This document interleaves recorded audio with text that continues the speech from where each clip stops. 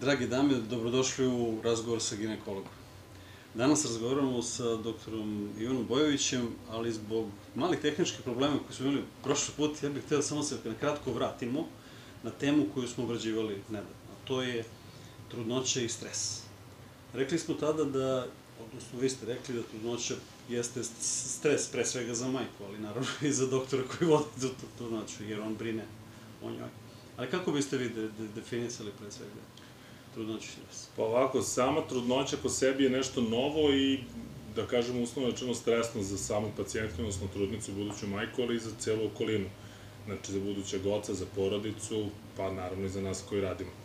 E, porođaj je opet deo te priče i stres je sam po sebi, jer trudnica ulazi u nešto što je njoj nepoznato i zbog toga je jako važno da ona u razgovoru sa svojim ginekologom razjasni neke detalje, odnosno dobije prave informacije vezane za sam čin porođaja i da uz te dobre informacije razgovor bude praktično pripremljena za porođaj. Naravno, poželjno je bilo da pohađaju neke psihofizičke pripreme gde će dobiti određene opet informacije vezane za sam tok porođaja, e, mogu obići porodilište u kojima će se porađati što je izuzetno jako važno, a e, uz psihičku, svakako i fizička priprema će dobro doći za porođaj. Jednostavno, kada dobiju prave informacije, one će imati manje stresa, odnosno neće imati strah od nepoznatog i to je ključ za dobar porođaj.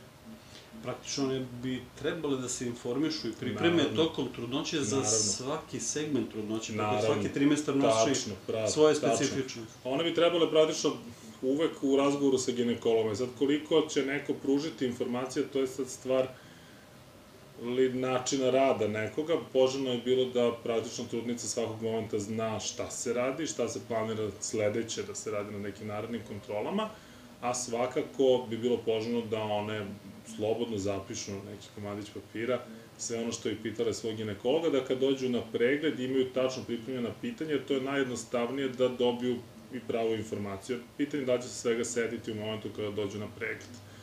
E, u tom druženju koje traje nekoliko meseci, koliko traje samo trudnoća, one će postepeno dobijati informacije o toku svoje trudnoće i narednim e, segmentima trudnoće, a svakako će u nekom poslednjem trimestru najinteresantnije biti šta će biti i kako će biti vezano za porođaj. Tada treba baš da razgovaraju da bi praktično dobile prave informacije. Puno tih informacija se može naći naravno na internetu, od drugarice, prijateljica, rođaka i Sigurno sam niste pobornik. Da, nisam pobornik toga, u smislu bolja mnogo je živa reč sa nekim sa kojim će sarađivati na porođaju, odnosno od strane doktora ili od strane babice koja će biti na porođaju, ćemo oni dati prave informacije. Šta je po vama veći stres? E, sam porođaj, mislim, taj strah kod trudnice. Da li više misle o strahu samog porođaja ili tokom, o vremenu tokom trudnoće?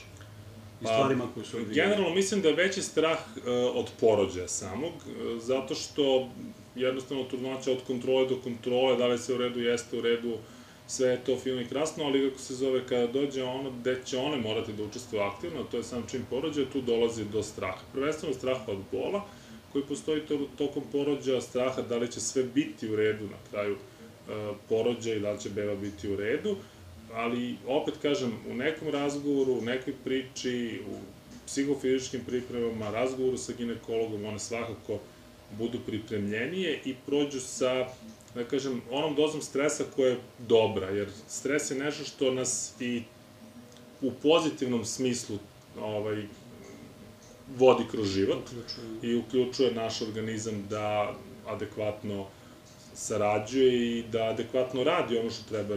Posle jedan težak fizički rad, porođa jedan težak fizički rad e, i ukoliko se ta snaga koju treba potrošiti na porođaj pravilno primeni, onda je to ključ dobrog uspeha. Prošle put smo rekli da je trudnoće i strah i za doktora. Naravno, i, stres. i jeste stres za sve nas koji radimo, jer e, bez obzira što vi mislite da, ste vi, da su pacijentkinje, misle da su one samo jedna broj, da su NN lice u našim životima, to nije tačno. Vrlo nam je značajno da sam porođaj i sama trudnoće proteknu dobro, jer praktično nema tu ponavljanja, ne možemo reći, e, pa sad smo malo zabrljali, pa dođete da sledeće nedelje promenimo tako nešto. Znači, nama je to isto stres i jako nam je važno da sve protekne kako treba, naravno da mama bude dobro i da beba bude dobro. To je negde sad praktično dobar prelaz da napravimo na, za, za današnju temu. A današnja tema je carski rez ili prirodni porođaj. Mišljenja su podeljene, kako među trudnicama, tako i među majkama koje su već prošle to. Kakav je u stvari stav struke pre svega? Ovako, što se tiče izbora porođaja, e, uvek treba ići e, na način porođaja, odnosno put porođaja koji je indikovan, znači za, da uradimo ono za što imamo razlog. 2010. recimo Svetska zdravstvena organizacija dala definiciju da je vaginalni porođaj najbolji porođaj ukoliko za to postoje uslovi. Znači ne treba pacijentkinju izlagati nekom većem riziku nego što je to potrebno u određenoj situaciji.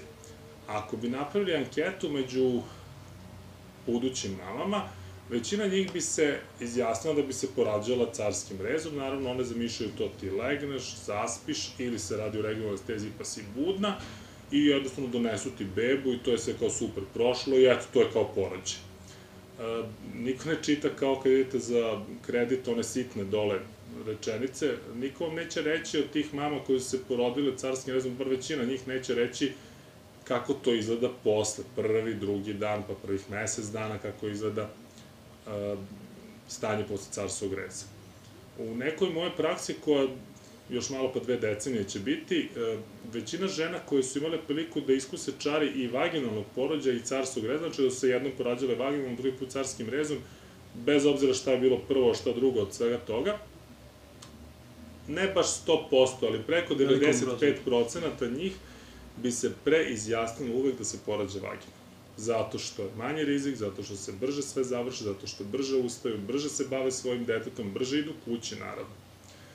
Carski rez je jedna odlična operacija koju treba uraditi onda kada za to imamo razloga i naravno onog momenta kada je pravo vreme za to, ne treba zakasniti za tako nešto ne treba ženu izlagati rizicima bilo kakvog vida anestezije, samog operativnog zahvata, postoperativnog toka, bilo čega. Ukoliko postoje potrebe da se urade carski rez, bilo da su to indikacije od strane majke ili od strane bebe, svakako ćemo preporučiti porođaj carskim rezom ili ukoliko iz nekog razloga tokom vaginalnog porođaja koji je krenuo kao vaginalni, bude bilo kakav razlog da se porođaj završava operativnim putem, carskim rezom, taj porođaj će svakako biti završen carskim rezom, upravo iz razloga što je e, nama važno da i mama i beba budu dobri.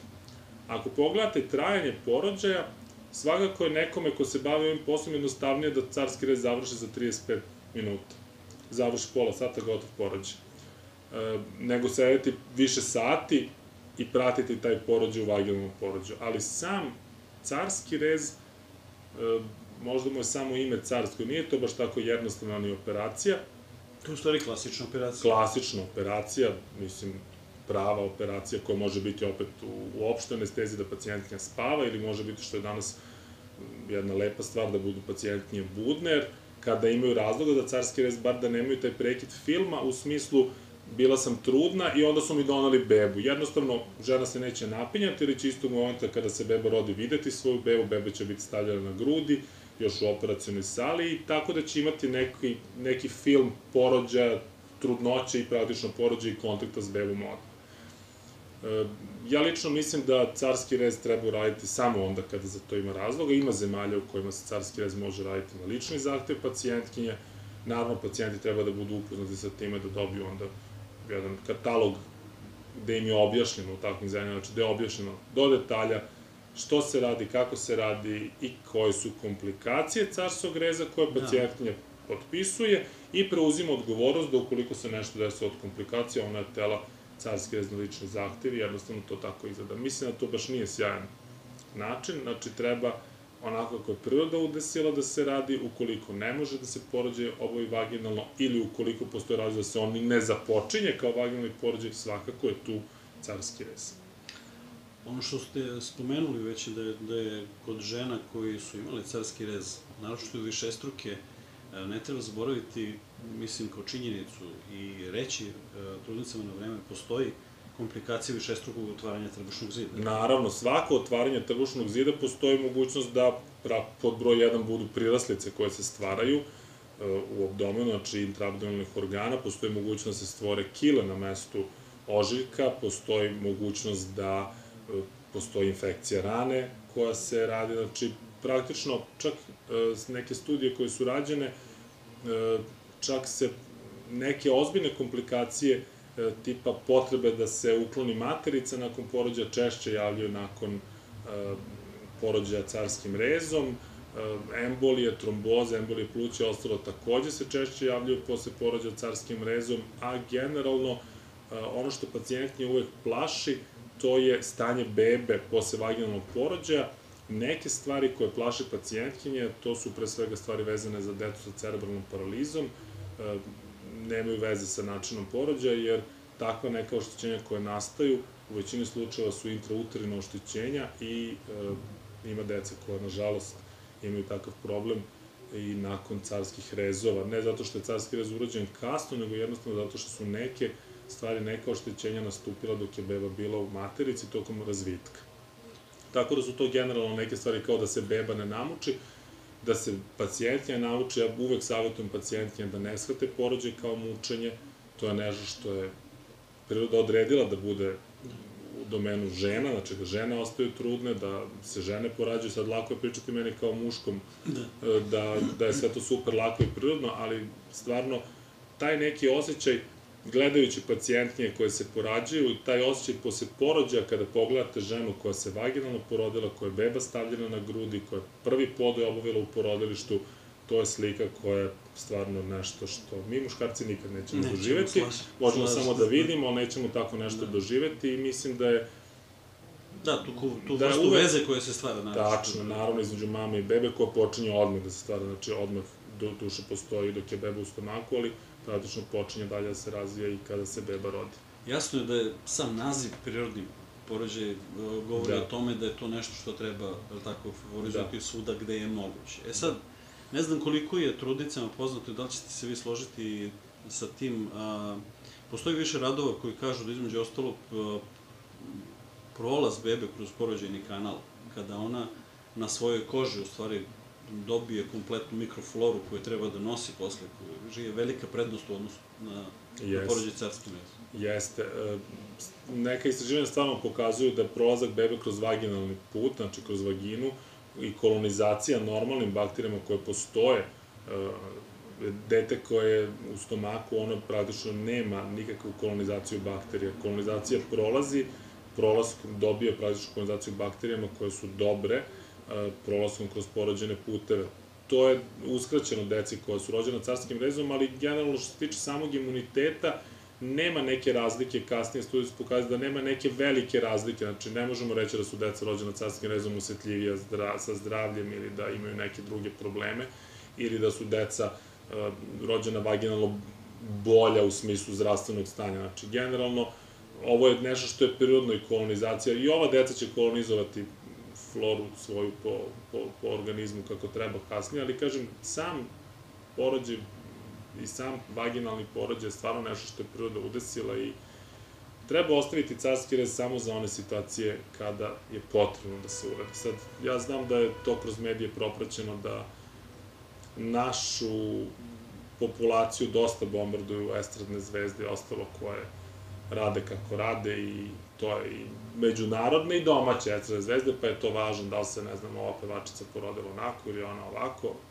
Topla preporuka za naše gledateljke, za trudnice, buduće mame, je da svoju trudnoću shvate kao svoj ličan čin i, i, i nešto što je njihovo samo, da ne porode svoje trudnoće sa trudnoćama svojih prijateljica, drugarica ili Jasno estradnih Svaka zvezda, da.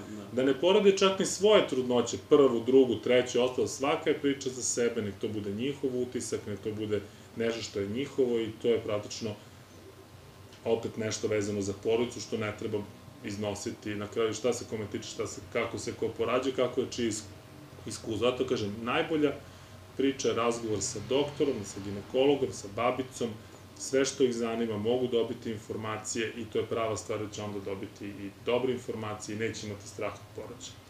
Jedna od stvar koju sam shvatio da je, da je strah vezan za prirodni porođaj i položaj bebe. koliko on sam utiče na odluku o... Da, postoje određene situacije kada beba se ne namesti. Ono što je najčešće, to je da se beba namesti glavicu dole. Postoji manje, znači manje učestalost je kada beba ide guzom, to je isto mogućnost lepog karličnog porođaja, vaginalnog porođaja kod karlične prezentacije normalno. Međutim, ukoliko beba se postavio neki kosir i poprečni položaj, to je svakako indikacija za carski rez. Ukoliko je pacijentkinja imala prethodno carski rez, a beba stoji karlično, to će biti indikacija za carski rez.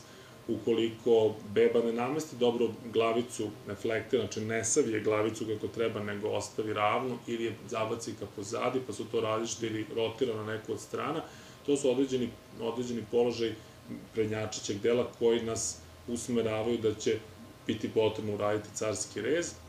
Znači, to zavisi opet od položaja bebe, naravno. Zato kažem, postoje neke situacije gde će se određivati odnosno na stanje majke, određene bolesti majke, određena zdravstvena stanja majke, podatak o prethodnim operacijama vezanim za matericu i ostalo će nas usmeriti da se za, odlučimo za operativno, znači za carski rez, ali svakako i stanje bebe, položaj bebe, veličina bebe, određena zdravstvena stanja bebe koje se priprem, primete tokom, tokom praćenja trudnoća. Koliko će biti naporno za... Pa koliko će, da, beba mora da ima praktično dobru kondiciju, jer verujte mi, mame misle da je samo za njih stres. E, mnogo veći stres je za bebu koja se rađa porođa. To da zna, pa kakav god da, jer vi iz jedne sredine u kojoj ste potpuno zaštićeni, neko drugi diše i jede za vas i obavlja sve ono što se obavlja od higijene za vas i odjednom dolazite na spoljašnji svet, prvo gde je niža temperatura nego u maminom stomaku, trebate da dišete, neko vas lupka, kupaju vas, oblače, sve to stres za bebu, ali sve to bude super posle. E, relativno često pitanje koje dobijamo na online kanalima vezano je za pitanje da li mi još uvek u prodalištima koristimo forceps prilikom prilikovešća? E, da, u, u, ne samo u Srbiji, u svetu se još uvek koristi vakum esator i forceps. To su određene akušerske intervencije, odnosno operacije kojima se pomaže rođenje deteta u situacijama kada je prednjačića glavica, znači beba dovoljno nisko položena, da treba samo pomoći bebi da se rodi, da nije toliko visoko položena glavica, da treba ići na carski rez. Znači, to su stvari koje još uvek postoje, neka porodilište primenjuju vakum, neka porodilište primenjuju forceps, neka i vakum i forceps, znači to postoji u svetu i kod nas. I kod nas. I kod nas, da. To je prihvaćena metoda i da... I da... da, to su prihvaćene metode koje uopšte nisu loše metode, naravno svaka metoda, jako je važno da onaj ko radi tako nešto bude obučen, znači to su ljudi koji znaju to da rade i naravno da se proceni da li je to konačno rešenje ili se možda u takvim nekim situacijama, ukoliko prednjačaša glavica nije dovoljno spuštena porođeni put, e, da se ovaj, ipak odlučimo za operativno završavanje, odnosno za carski rez. Carski rez podrazumeva operativni tim. Prirodni da. porođaj podrazumeva tim koji vodi babica. pa ovako, što se tiče, generalno, ja uvek pričam na nekim predavanjima koje držim, znači uvek postoji jedan tim, znači nemojte misliti da je samo ono ko vodi računa vama u porodilištu babica i ginekolog, znači to je puno malih ljudi iz, iz ekrana i ostalo, iz radio aparata, što bi rekli. Znači to je jedan veliki tim koji čine pre svega ginekolog, pre svega u stvari taj tim čine, mogu tako da kažem, majka, znači buduća da. mama i njena beba, eventualno bliska osoba ukoliko se ona po, odluči da sa njom bude njen partner ili neko već koji njoj drag na porođaju, a dalje smo mi tu koji smo osoblje kuće u kojoj se pacijent ne porođa, to su ginekolog, babica, tu su pedijatar, neonatolog, znači pedijatrijske sestre, tu su anestezijolog i anestetičar, to je neki tim koji će funkcionisati svakako i u vaginalnom porođaju i u carskom rezu, jer nekad je praktično se porođa obavlja u epiduralnoj analgeziji, lokalnoj anesteziji, znači ovaj, regionalnoj u stvari, gde će se porođaj obezboliti, a ukoliko nam je potreban carski rez, tu je naravno opet dalje tim, tu je instrumentarka koja nam pomaže u operacijalnoj sali, koja vodi računa naravno o sterilnosti materijala i svega toga. I svakako su u porodilištu jako značajne, a niko ih obično ne spominje, ja mislim da sam ja možda jedini koji to radi, to su i administrativni radici koji vode računa o papirologiji koja je u ogromnim merama zastupljena i jako važan da bude dobro sve završena i naravno, da kažemo domaćice, odnosno higijeničari, odnosno spremači, naši servirke koji vode računa o, o čistoći porodilišta, koji vode računa o serviranju hrane, pacijenti. Znači, to je jedan veliki tim koji ako dobro radi, ukoliko se dobro razume, Čini svakako dobro porodilište. Čini dobro porodilište i ima efekta da pacijenti budu zadovoljni, odnosno da se vraćaju ponovo isto porodilište. E sad kad smo kod porodilišta, moram da vas pitam, kakav je vaš stav prema uslovno rečeno nekonvencionalnim metodama i koliko se ono brzo uvode u naš sistem u Srbiji, a tu mislim na porođaju u kadama, porođaju u čučićim položajima, to su neke nekonvencionalne Da. metode, ali koji imam utjecaj da se sve češće pojavljuju u Pa našoj da, a, što se tiče porođaja u Kadi, taj vid porođaja postoji i u Srbiji, odnosno u Beogradu u porodilištu na Zvezdari i to je zastupljeno, boga mi, pa preko 20, možda 25 godina. Nažalost, malo je medijski propraćeno i e, malo žena uopšte zna da postoji kada za porođaj. I sad tu je uvek ona priča da li žena treba da se porodi u kadi ili ne. Po nekim preporukama neonatologa, e, potrebno da žena bude neko vreme u, u porođenoj kadi, a da se sam čin porođaja, odnosno ekspuzija, ipak obavi na klasičnom krevetu, jednostavno iz razloga što teško je štititi međicu, odnosno čuvati porođene puteve pacijentnije koja u vodi, e, teško je preuzeti bebu koja je u vodi iz razloga što postoji šansa praktična i teorijska, znači da ona udahne vodu u kojoj se mama kupalo, što baš nije poželjno, ali svakako dobro dođete boravak u kadu, od 2 do 3 sata, hidromasažna kada koja će umanjiti bolove koji postoje tokom kontrakcija i koja će učiniti da porođaj ide nešto brže, znači faza dilatacije. Što se tiče porođaja u čužićem položaju, to su sve e, postoji i lopta za pilates i ostale neke stvari, znači koje se mogu praktikovati. Jednostavno, postoji naravno ljudi koji će to prihvatiti, postoji pa osoblje koje to neće rado prihvatiti ili neće uopšte prihvatiti, to je sve individualno. Generalno, uvek treba obratiti pažnju da kondicija bebe bude dobra i onda sve može biti lako. Ako su tonovi bebe dobri, možemo kako hoćemo, ako nekad moramo Znači, suštinski intenzivnije to pratiti. zavisi, zavisi od porodilišta Da, do od porodilišta. porodilišta do porodilišta. Što se tiče e, monitoringa bebe i čak kad su pacijentnije u kadi, taj period postoji kardiotokogram koji se može uraditi, znači mali aparat za CTG koji se može koristiti u vodi, znači potpuno to što toga tiče, jednostavno samo može biti prisustvo bliske osobe tokom porođaja u kadi, može biti i stimulacija porođaja dok je pacijentnija u kadi, jedino što ne može dok je u kadi, to je porođaj u epiduralnoj analgeziji Da, to je najveća. ali može posle, kada izađe na krevet, kada izađe iz, iz kade na porođeni krevet, možete plasirati kateter za epidural i da se nastavi i na taj način obezboljavanje porođaja, ukoliko je nalaz adekvatan za epiduralnu analgeziju. Koje su ključne tačke za prepoznavanje da li će, da kažem, tokom trudnoće biti indikovan jedan ili drugi porođaj? Pa, ključne tačke su pre svega e, stanje, znači da li postoji neke, neka pridružena oboljenja koja majka ima, koja će zahtevati ovaj, e, operativni zahvat i stanje ploda. To su nam stvari koje mi, pre svega ako je majka imala dva carska reza, teško ćemo se odlučiti, dešava se, porađuju se nekada žene, baš kad je crevo nalazi, posle dva carska reza imali smo prilike da porađamo pacijentnije vaginalno i sve je prošlo u najboljem redu. Ako je već bilo tri carske reze, onda svakako će ona ići na, na porođaj planirani elektivni carski rez. Ukoliko imala uklanjanje mioma tokom prethodnog perioda u odnosu na trudnoću, u zavisnosti od lokalizacije mioma, ona će imati operativni zahvat na porođaj, znači biće carski rez. Ukoliko su rađene određene procedure na grliću, postoji šansa da taj grlić ne bude adekvatan u smislu dilatacije tokom porođaja, pa da će morati da se takav porođaj završi opet operativnim putem zdravstveno, ali neka druga oboljenja, bilo da se radi o oboljenjima pluća, kardiovaskularnog aparata, prethodnih operacija, preloma karlice, e, određenih stanja vezanih za oftalmologiju, to su sve stvari koje će nas u startu opredeliti za porođaj carskim rezom ukoliko su to stanja koje to zahtevaju. U svim ostalim ćete probati. E, I stanja bebe, opet, ako je poprečni položaj, ako se već sumnja na veliku bebu, ako je beba iz Da. nekog razloga ugrožena, manje raste, treba završiti taj porođaj ranije, znači svakako da ćemo u takvim situacijama obratiti pažnju i u određenom momentu doneti odluku da se možda i pre termina takav porođaj završava. Zavisno od lokalnog nalaza, nekada će biti moguće takav porođaj završiti u određenim situacijama i vaginalno, ali ukoliko stanje bebe zahteva, svako će biti završen carskim rezom. I naravno svako ono stanje iz samog porođaja kada krene porođaj, pa nešto ne ide sporo, ide dilatacija, dugo traje sam porođaj, menjaju se tonovi bebe, dolazi do nekog obsežnijeg krvarenja, će zahtevati hitan porođaj carskim rezom.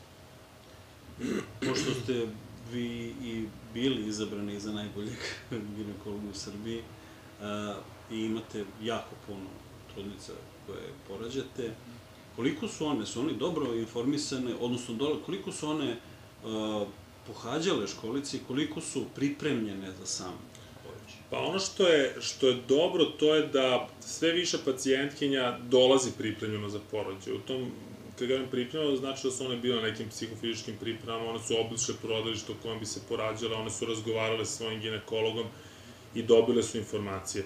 Ne mislim pod pripremljeni pacijentima neko ko je našao na, na internetu pa postove raznorazne i ostale komentare na Facebooku i ostalo, pa se tu informisao o porođaju. Lično mislim da su to stvari od praktično ljudi koji se bave time najvažnije da dobiju i to je sve veći broj žena. Ono što je jako važno da one ne samo da budu upoznate samim tokom porođaja i, i tom, da kažem, teorijom, nego su prošle kroz te psihofizičke pripreme, kojim pripreme i telo i određenim vežbama, jogom, e, gimnastikom nekom koja je prilagođena za, za trudnice, masažom međice i ostalim stvarima, stvarno budu pripremljene za porođaj. Ono što, da kažem, dobro što e, tu je internet dobar, jer mogu da se informišu gde mogu da dođu do takvih priprema, da, da ih pohađaju ostalo i to je ono stvarno dobro. Sve više žena dolazi pripremljeno, ono što je dobro da sve više parova dolazi zajedno, da su muškarci ti koji aktivno učestvuju u svemu tome, da nije samo ono kao je dovezete do doktora pa ti idi tamo, nego dolaze i budu sa njima i oni se interesuju, idu na pripreme zajedno, dolaze na porođaje,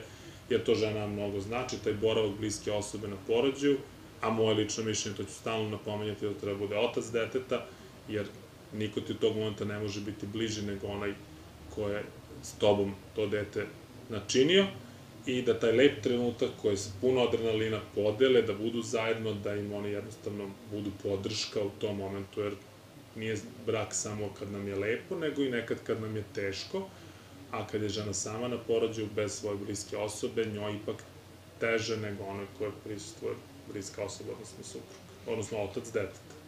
Za kraj samo da zaključimo, znači, nek pi, treba da pitaju, sve što ih zanima Uvek. treba da pitaju, jer bolje da imaju uvek informaciju više nego Tačno, ta informaciju manje. komunikacija je jako važna, ali ono što je jako važno da i mi njih saslušamo, ne samo da one pitaju, mi da ih ne slušamo, ali da one nas saslušaju kada mi govorimo to, da čitaju svoje izveštaje, na izveštajima dosta toga piše šta treba dalje raditi, znači jednostavno u toj komunikaciji verbalnoj, gde ćemo mi raz, neke teme i dotaći i ispričati se i ostalo, a one će dobiti pravu informaciju i to će biti sve ono što njih zanima, bit će dobro i bit će dobar porođaj.